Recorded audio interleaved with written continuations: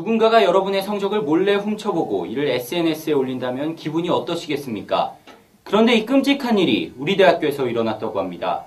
권영석 기자입니다.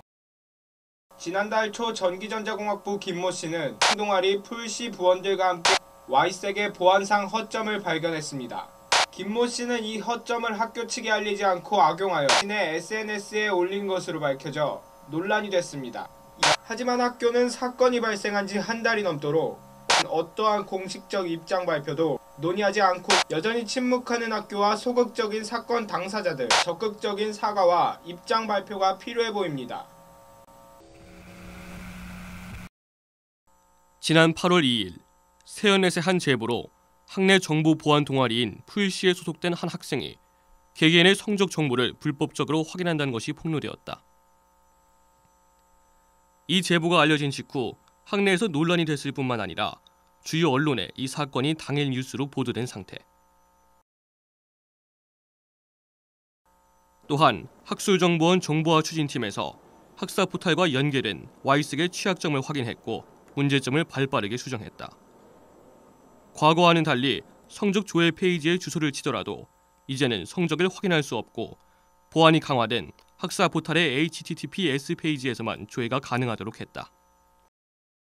그리고 이 문제로 인해 발생할 잠재적 피해를 대비해 당시 계절학기 성적 확인 및 정정이 이루어지고 있는 상황에서 학교 측은 기존 일정에서 8월 3일까지 시한을 연장하는 것으로 정했다. 마지막으로 제보 당일 사건에 직접적인 책임이 있는 정보 보안 동아리인 풀시의 회장과 전기전자공학부 1, 2학번 김무군의 사과글이 학생 커뮤니티 세연넷에 게재됨으로써 사건이 일단락되는 듯 싶었다.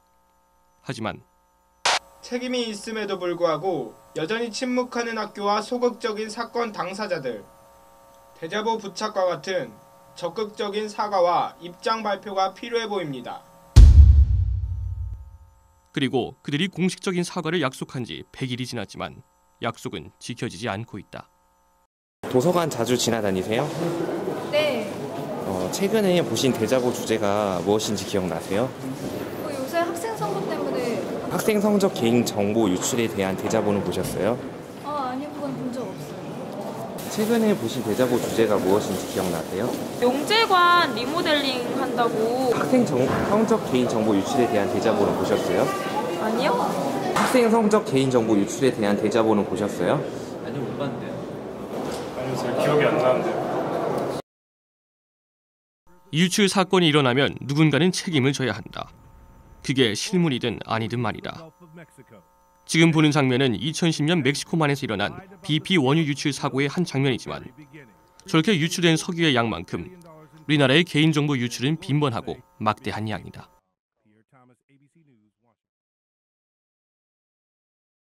사과를 하기로 약속했지만 아직까지 연세인 누구도 사과를 받은 사람이 없다.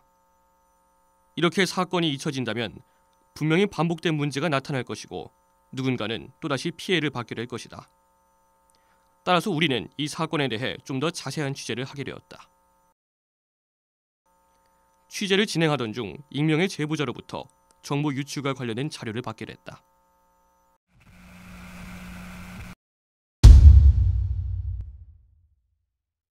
하나는 당시 보안 취약점을 이용해 학번을 치면 GPA를 확인할 수 있는 페이지 저장 화면이었고 다른 하나는 사건 당사자인 김무군이 풀시 홈페이지에 올린 게시물이었다.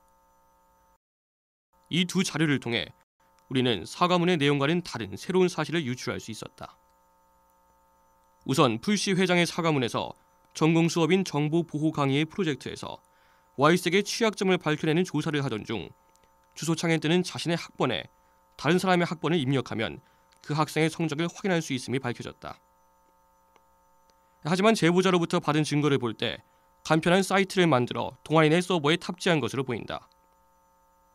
주소만 치면 알 수 있는 성적 정보를 왜 굳이 이렇게 사이트까지 만든 것일까? 이것이 첫 번째 의문이다.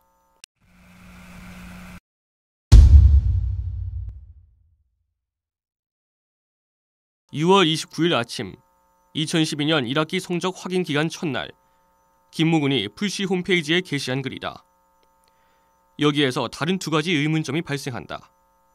먼저 이 글이 작성된 시각은 성적 확인 첫날 당일인 오전 9시 14분. 성적 확인이 공식적으로 가능한 시간은 오전 9시 이후. 게시글의 내용을 보면 그가 성적을 정상적인 루트로 확인했음을 짐작할 수 있다. 그가 남긴 리플 또한 마찬가지다. 하지만 맨 마지막 코멘트인 이모군의 리플을 보면 뭔가 이상한 낌새를 눈치챌 수 있는데 바로 이것이 앞서 보여줬던 성적 확인 페이지의 주소이다. 정리하자면 성적 유출 직접 관련자인 김군은 이 글을 쓰기 전까지는 타인의 GPA를 확인하는 법을 알지 못했을 것이고 이 글을 작성한 이후 그의 선배인 이모군의 리플을 보고 나서 알았을 것이라는 추론이 가능하다.